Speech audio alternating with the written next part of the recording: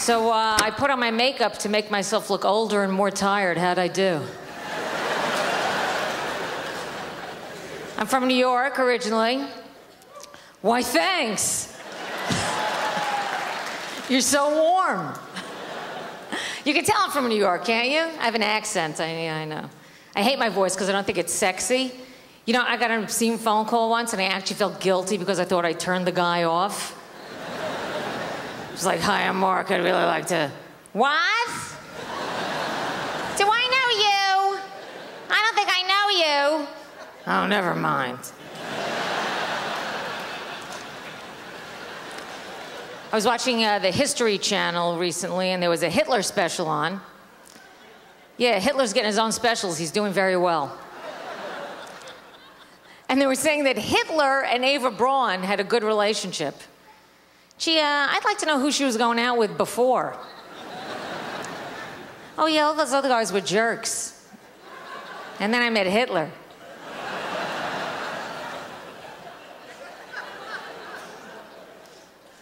You know what's really depressing is that Hitler and Eva Braun had a good relationship, and my husband and I are in couples therapy. she could get along with Hitler. I can't seem to get along with a nice guy from Minnesota. Husband's a great guy. He is a great guy. Don't get me wrong. But uh, let me tell you something he's no Hitler.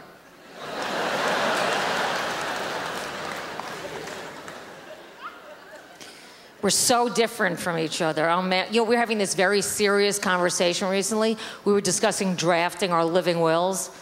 And my husband said to me, honey, listen, uh, if I'm ever in a coma, I want you to pull the plug. And I said, well, uh, you better start talking a lot more then. Because I can't tell.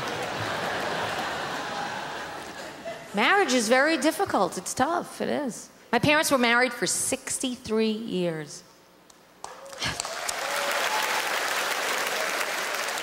You know the secret to longevity of my parents' marriage? Outlasting your opponent.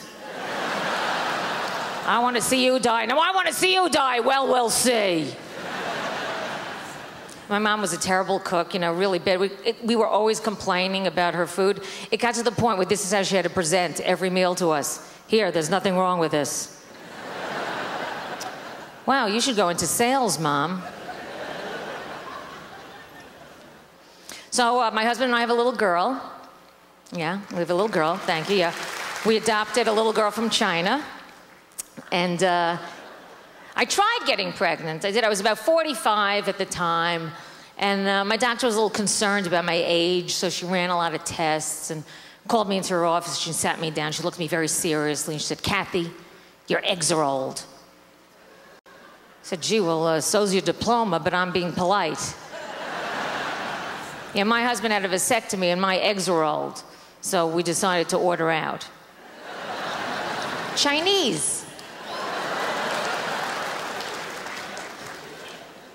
Yep, I'm 52 and I'm raising a four year old. I'm in menopause and I'm raising a preschooler. Excellent planning.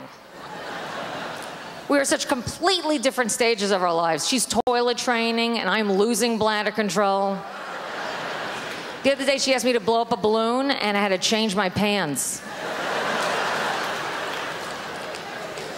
I wish that was a joke. Oh, how I wish. I was in New York, I was visiting my family recently, and my aunt said to me, So, you're gonna raise your daughter Jewish? I said, No, we're just to raise her to be a good person. And my aunt said, That's terrible!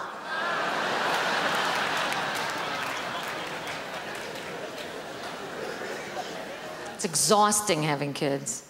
People warn me, but there's no way that you really know until you actually have a kid. You just can't know. But I will try to describe to you how exhausting it is to have a four year old. I had to get a colonoscopy recently. And I checked into the hospital and I laid down on the bed. And my very first thought was, oh, this is so relaxing. You've been a great audience. Thank you so much.